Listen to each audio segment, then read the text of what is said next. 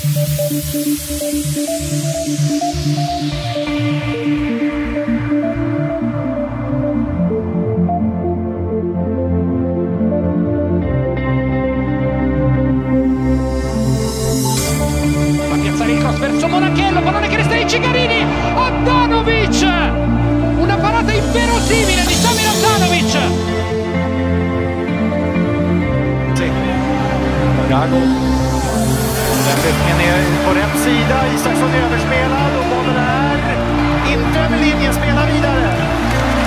Inget mål för Argentina. Isaksson svarade för en cykelspark. Alla Ibrahimovic tror jag nästan på mållinjen för att hålla båda bollen borta bollen.